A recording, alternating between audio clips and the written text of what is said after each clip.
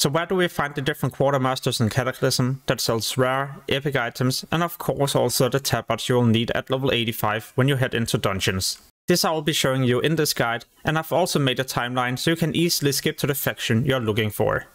So the Earthen Ring Quartermaster is located at the southern part of Vashj'ir at the Silvertide Hollow.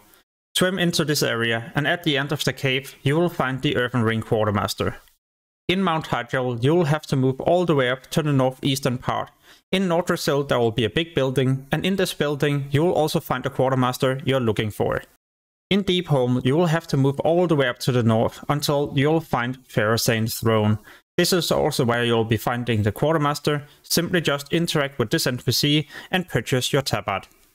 In Uldum, you will have to go to the main questing hub in the middle of the zone.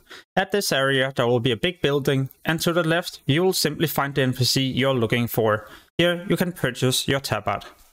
As an Alliance player, you will have to go to this location in Twilight Highlands in order to get your Wildhammer clan tabard. As you go to this town, move to the right, and in this building you will also find the Quartermaster.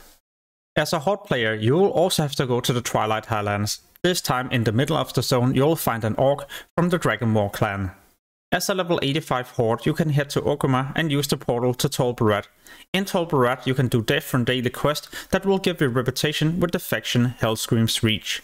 As an Alliance player, head to Stormwind City, where you will also find the same portal, but this time it will take you to another location in the zone where you will get reputation with the faction Baradin's Warden.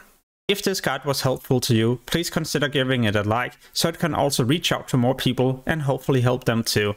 On my channel you will find a lot of other useful guides, so make sure to check that out.